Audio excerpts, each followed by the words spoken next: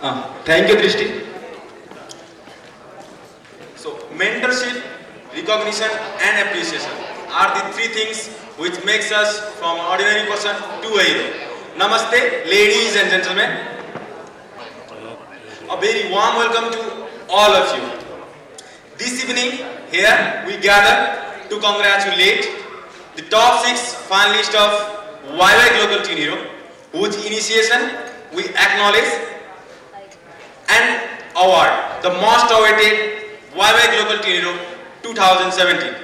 I am sure you all are as excited as I am to hear about our superheroes.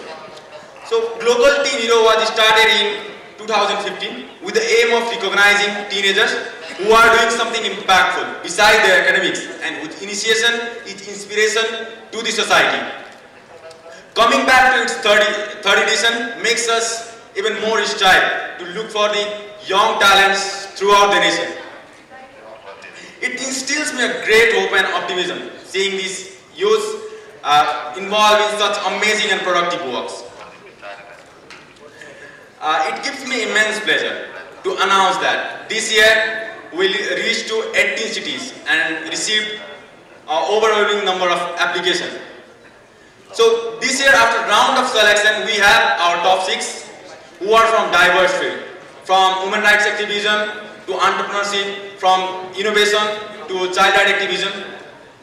So uh, once again, uh, thank you all for accepting our invitation and gracing us uh, with your presence. Welcome to Wai Wai Glocal Teen 2017. Thank you.